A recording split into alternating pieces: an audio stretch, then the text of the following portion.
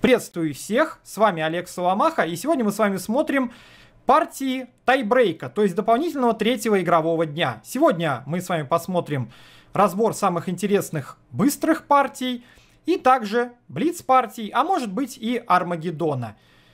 Идет у нас отборка 1.64 финала, то есть участников у нас будет 128, и дальше они начнут э, играть, значит, выбывать по стандартной нокаут-системе а, в 7 кругов до финала. То есть 1.64, 1.32, 1.16, 1.8, 1.4, полуфинал, финал и матч за третье место.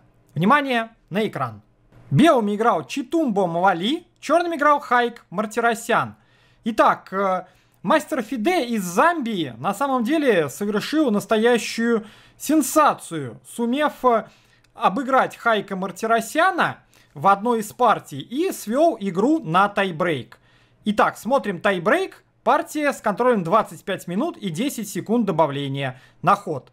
c4, e5, g3, конь f6, слон g2, d5, cd, конь бьет d5, конь f3, конь c6, рокировка конь b6 на доске английское начало, d3, слон e7, a3, слон e6, конь d2, f6, b3. Вновь разыгрывают белые в таком вот ежовом стиле дебют. Ферзь d7, ладья e1, слон h3, слон h1. Повторяется позиция, это мы с вами уже видели. h5, конь e4, g5, слон b2 и 3 0. b4, а6, ладья c1, h4. И в этой позиции Читумбам Вали ошибается, играя конь c5. Здесь правильно было найти ход d4. Вот такой вот удар по центру. На ед уже можно сыграть конь c5. Идея в том, чтобы заблокировать черным возможность прыжка коня на поле d4. Что мы с вами увидим в дальнейшем будет очень важно. После слон бьет c5, bc, hg, fg, ферзь e8 с угрозой ферзь e3 мат. Белые могут просто сыграть ферзь d2, на конь а4 слон а1 и на конь а5 с угрозой вилки. Ферзь d3, например. И позиция получается сложная. Белые в нужный момент отыграют пешку на d4, так как они ее атакуют трижды. И здесь э, белые должны постепенно, потихонечку уравнять. Но после h4 конь c5 играют белые сразу. Следует слон бьет c5, ладья бьет c5, hg, fg, слон e6, ферзь c2, король b8, слон c3, конь d5, слон d2, g4, конь h4 и конь d4. Вот она, собственно, и разница, видите? Конь пришел на d4, и дальше черные развивают страшную атаку. На ферзь d1 последовало конь f4, такой вот напрыг коней. На gf ладья бьет h4, и стало понятно, что здесь получится быстрый разгром белых. fe g3, черные прорываются, hg ферзь g7, король f2, ладья g8, и белым пришлось сдаться, поскольку если взять ладью, то следует мат в два хода. Ну а если не брать, то все заканчивается еще быстрее. Итак, все-таки Хайк Мартиросян одерживает победу. Ну и надо сказать, что на самом деле дальнейшей борьбы не получилось. Хайк Мартиросян выиграл и вторую партию, и прошел в 1-64 финала. Идем дальше. Белыми играл Бобби Скай Чен, черными играл Вахаб Санал.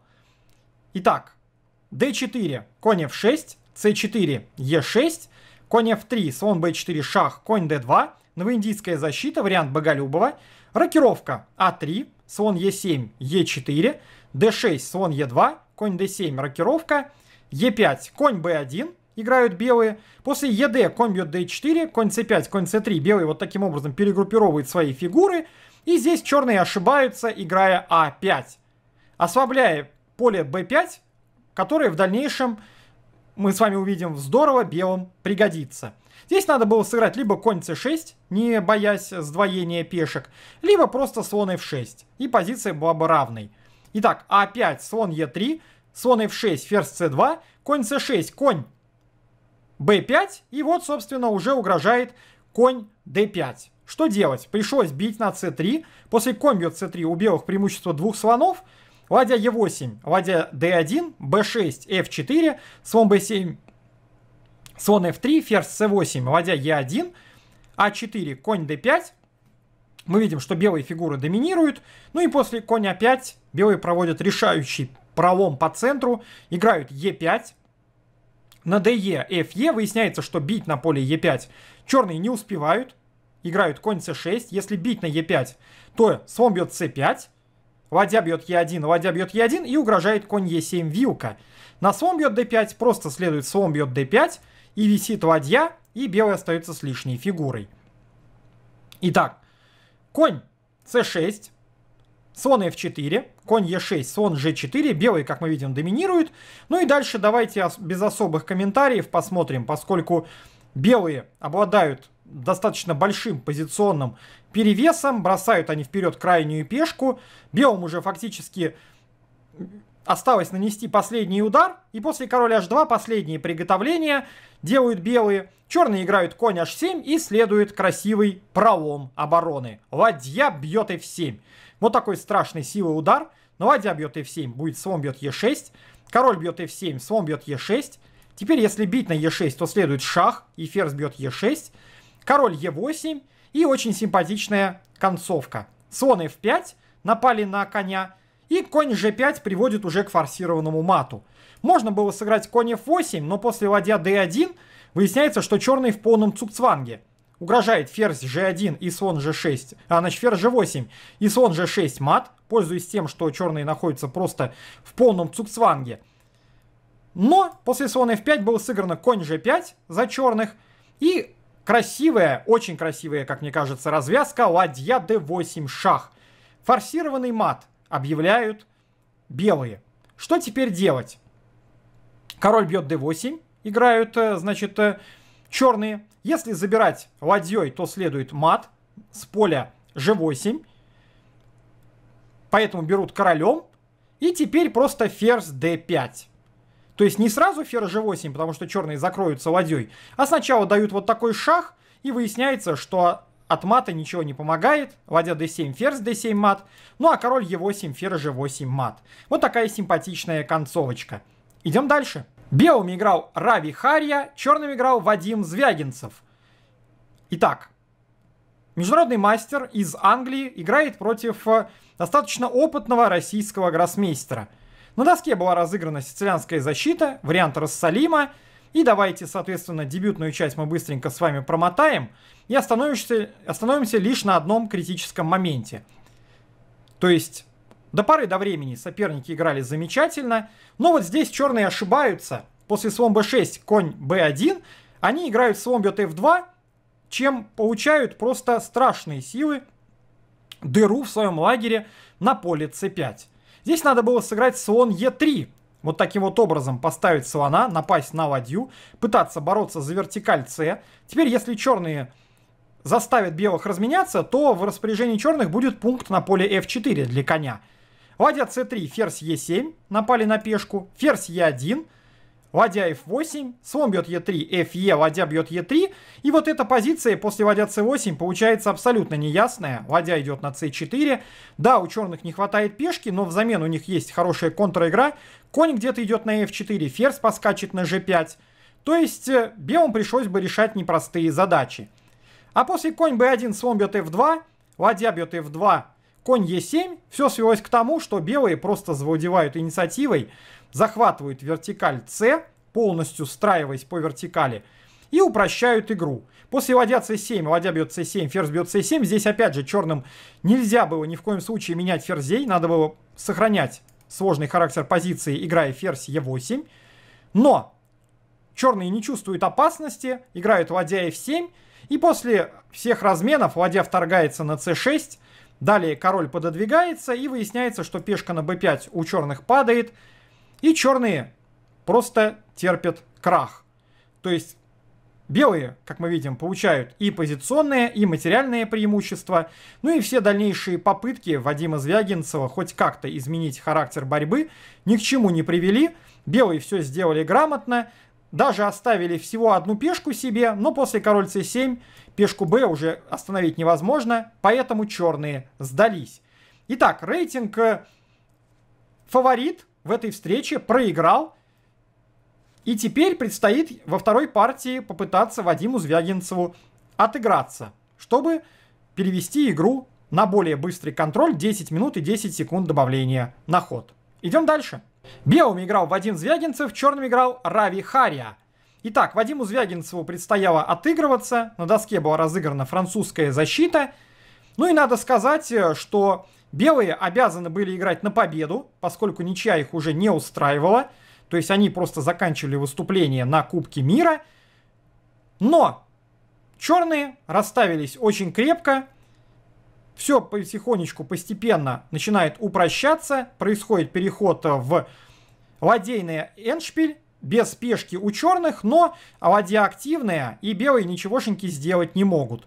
И надо сказать, что поскольку Вадим Звягинцев должен был побеждать, он должен был как-то рисковать, и в итоге, давайте долистаем, выиграть невозможно, 4 на 3, уже 3 на 2, но нужно что-то пытаться делать, белые пытаются двигать пешки, но ничегошеньки не выходит, и в результате белые доигрались до поражения. То есть сейчас вот мы с вами увидим, что вроде бы белые залезают куда-то в тылы, но ничего не получается. Ладья Е8, король G6, черные стоят, и здесь белые уже решаются на отчаянные меры, играют Е6, черные забирают пешку, и на F7 просто играют ладья А7, забирая еще и пешку на F7, и здесь уже Вадим Звягинцев просто сдался, и таким образом Рави Хария выбивает российского гроссмейстера с этого самого с этого самого турнира. Идем дальше. Белым играл Вахаб Санал, черным играл Бобби Скай Чен. Итак, вторая партия с контролем 25 минут и 10 секунд добавления на ход. Смотрим. Значит, на доске французская защита, классическая система. Постепенно, потихонечку стороны развиваются, белые закрывают центр и переносят тяжесть борьбы на королевский фланг, пытаясь организовать там атаку. После c4 ферзь c6, cd, ед, ферзь h3, ферзь e6, ферзь бьет e6, fe, конь c7, двойной удар, ладья c8, конь бьет e6. Белые, как мы видим сейчас с вами, выиграли пешку, но конь на поле e6 расположен достаточно неудачно. Черные угрожают его поймать ходом король f7. Поэтому черные пока играют ладья f5, уводя ладью из-под удара. Теперь белые играют dc, чтобы увести коня на поле d4. bc, отнимая поле d4 для коня. И вот здесь белые достаточно грубо ошибаются, играя ладья c1.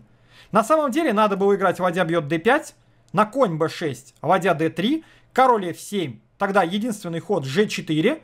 Теперь черные вынуждены бить на поле f3, пытаясь, э, как и в партии, получить две фигуры за ладью. Но здесь промежуточный ход, конь g5, шах, вот такой красивый. hg, e6, король g6, h5, король h6, ладья бьет f3, конь бьет а4, ладья f7, ладья e8, ладья а1. И происходит вот такая вот мощная разгрузка, после чего выиграть на самом деле здесь невозможно. Ни за черных, ни за белых. Позиция получается равная. После bc ладья c1, как неудачно сыграли белые, не забрали пешку, последовал ход конь b6, ладья c3, король f7, и теперь тот же самый вариант g4.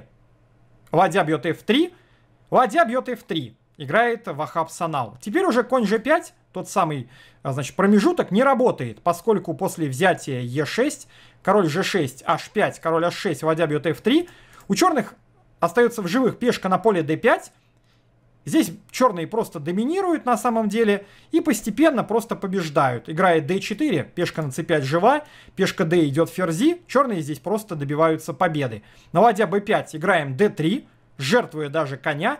На ладья b2 c4, пешки уже просто рвут и мечут. Ладья d2, слон b4, ладья d1, d2, припечатывая ладью.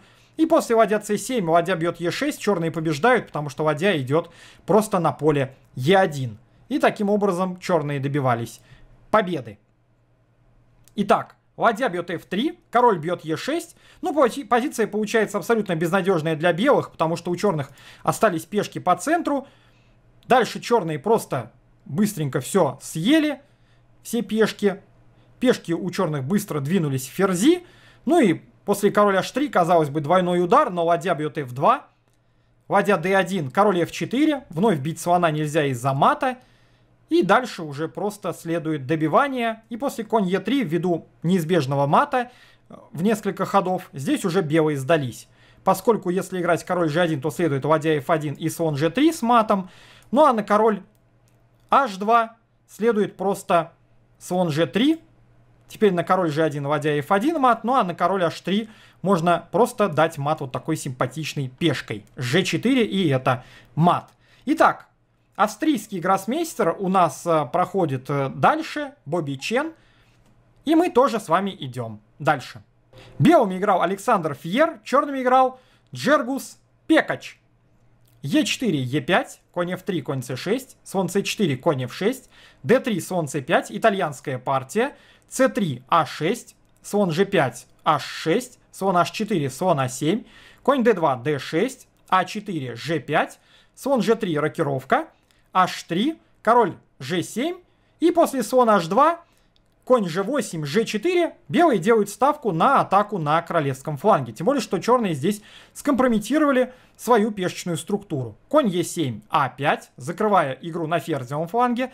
d5, ед, конь бьет d5, ферзь b3, конь f4, слон бьет f4, ef и d4 играют белые. На самом деле, после конь e7, h4 белые уже получают очень серьезный перевес. Здесь надо было вместо конь e7 черным играть срочно f5, пытаясь хоть как-то зацепиться. И здесь еще они держались.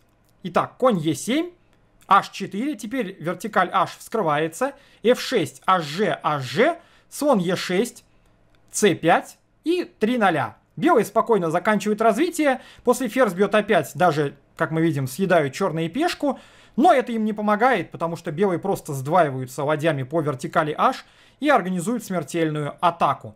Конь g6, ладья h1 угрожает мат в один ход, ладья h8 и финальный красивый заключительный удар слон g8. Теперь выясняется, что бить на g8 нельзя из-за шаха и мата на f7, а делать больше, собственно, нечего, угрожает ферзь f7, смертельный ход. c4, пытаясь отвлечь, а, значит, ферзя, Ферзь бьет c4, слон e6, ничего не остается, кроме как э, начинать отдавать фигуры, поскольку все равно значит, э, угрожает ладья h7. То есть ферзь c7 не помогает, потому что ладья h7, и тогда белые просто выигрывают ферзя. Я имею в виду вот здесь, вместо значит, хода c4, если сыграть ферзь c7, не пуская ферзя на f7, то тогда просто решает вот такой вот шах ладьей, и все, это сразу конец, потому что теряется ферзь. Значит, c4, ферзь c4, слон e6, ну и здесь слон бьет e6, играет Александр Фьер, и черные сдаются. На самом деле белые могли взять и ферзем, и получается просто мат, значит, здесь черным, поскольку угрожает шах, на взятие, например, ладьей следует шах, теперь король f8 и вот такой ход, как ладья h7 вновь угрожая матом на поле f7, и выясняется, что у черных от этого нет абсолютно никакого спасения. На единственный шаг белые просто закрываются конем, и все, черные абсолютно беспомощны. Итак, Александр Фьер, э, гроссмейстер из Бразилии, победил, а мы с вами идем дальше. Белым играл Момчил Николов, черным играл Федерико Перес Понца. Итак, d4, конь f6, c4, e6, конь c3, слон b4, ферзь c2, b6, а3, слон c3, ферзь c3, на доске защита Немцовича, слон b7, конь f3, рокировка g3, c5, dc, bc, слон g2, a5, b3, d6, рокировка. Итак, белые закончили развитие, у черных тоже, в принципе, позиция хорошая.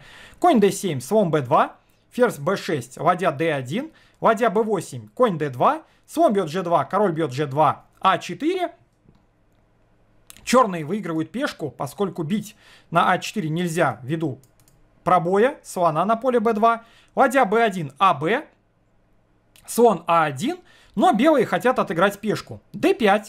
Ладья бьет b3. Ферзь а6. И вот здесь черные ставят очень симпатичную ловушку белым, в которую белые и попадаются.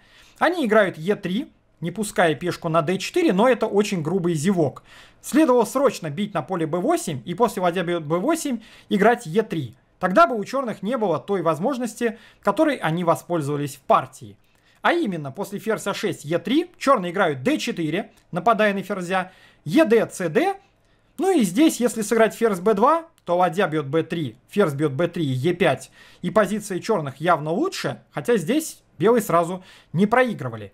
Ну а после cd ферзь бьет d4, играют белые, и зевают то, что после размена на b3 следует двойной удар. Да, гроссмейстеры, видите, тоже зевают вот такие вот тактические штучки.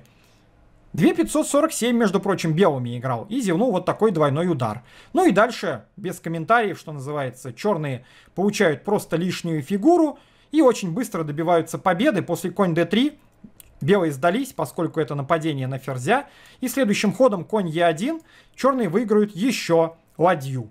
Очень убедительная победа гроссмейстера из Аргентины. Идем дальше. Белыми играл Виарел и Ардакеску, черными играл Володар Мурзин, наш молодой международный мастер.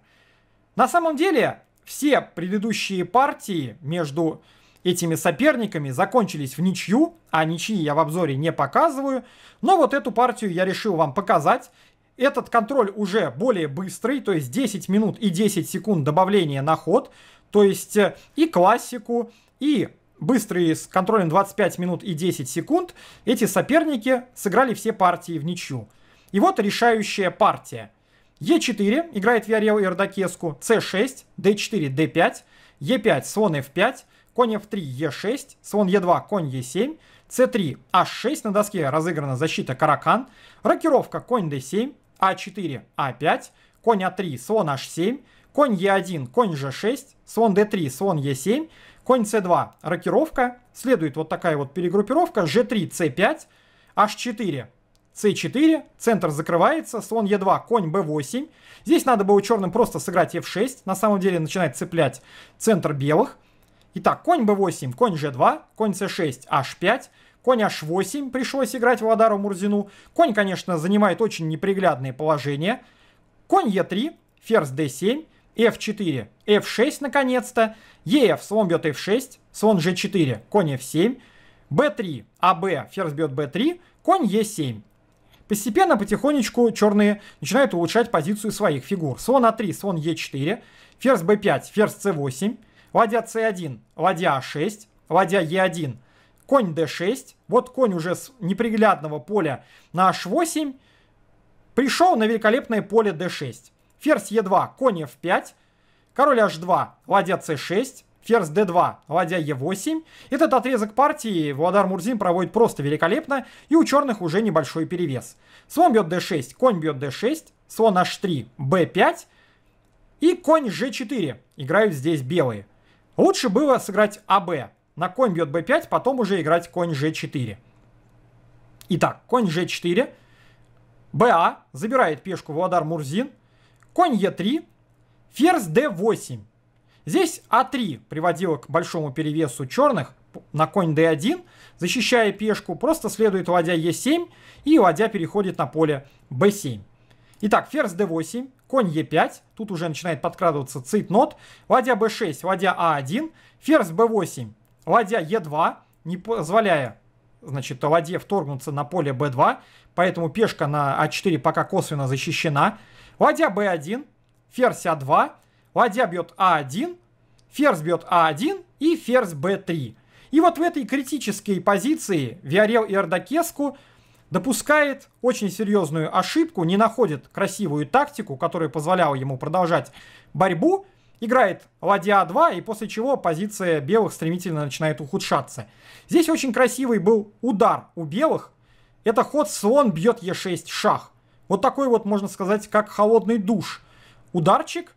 В чем его идея? В том, что после ладья бьет Е6, ладья b2 выясняется, что белый ловит ферзя. Ферзю некуда уходить, на ферзь бьет c3, следует вскрытый шах, и теряется ферзь. В этом и была идея жертвы, отвлечь ладью с поля e8, чтобы с поля b8 был шах. Теперь черные вынуждены играть слон бьет e5, и после ладья бьет b3, а b позиция получается очень сложная, абсолютно непонятная, неясная, поскольку пешки у черных очень сильны, практически бегут ферзи, но у белых ферзь. А у черных, как мы видим, черные здесь могут еще и без фигуры остаться после DE или FE, но вот компьютер говорит, что позиция совершенно неясная, поскольку очень сильны пешки черных. Слон на поле Е4 занимает великолепное положение, как раз таки контролируя поле превращения. Но решиться на такое в цейтноте было абсолютно не, значит, э, не под силу Виарелу и Ардакеску. Он играет ладья А2, и после слон бьет Е5, Владар Мурзин уничтожает этого опасного коня. ДЕ, конь Б5, ладья бьет А4, Д4, игра быстро вскрывается, ну и дальше без особых комментариев.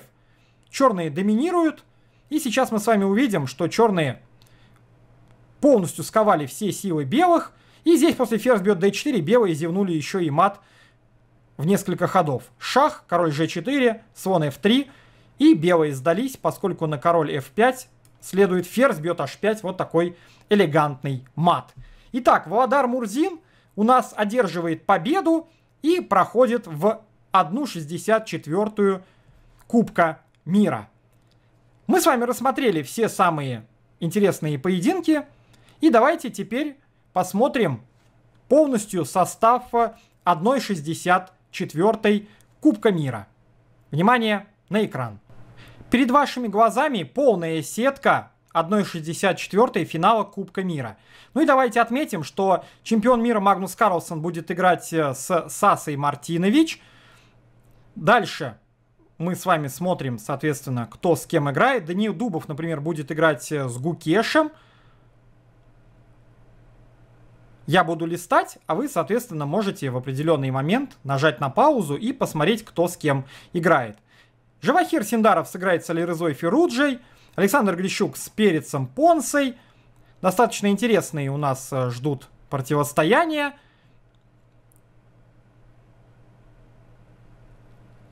Борис Савченко сыграет с Ани Шимгири.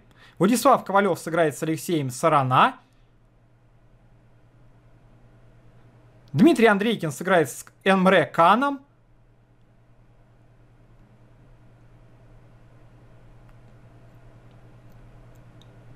Ну и вот здесь самая интересная встреча. Владислав Артемьев будет играть с Володаром Мурзиным. Такое вот своеобразное молодое российское противостояние. Корякин Сергей сыграет с, Шамси, с Шамсидином Вахидовым. Так, ну и все, в принципе. Мы с вами посмотрели всю сетку. Друзья, если обзор вам понравился, то, пожалуйста, поставьте лайк, подпишитесь на канал, нажав на круглую кнопку с изображением фигурного коня, который вскоре возникнет прямо посередине этого ролика. Или же нажмите красную кнопку подписаться, сделайте ее серенькой, и таким образом вы сможете помочь моему каналу. Также для вашего удобства, если вы щелкнете по левой конечной заставке, то вы увидите обзор предыдущего тура Кубка мира по шахматам в Сочи. Если щелкнете по правой конечной заставке, то вы увидите следующий обзор. Все сделано для вашего удобства, чтобы вы не терялись и могли посмотреть весь турнир целиком. Оставайтесь в курсе событий. Для вас работал и комментировал Олег Соломаха. Играйте в шахматы, любите шахматы. Играйте всегда красиво. Счастливо!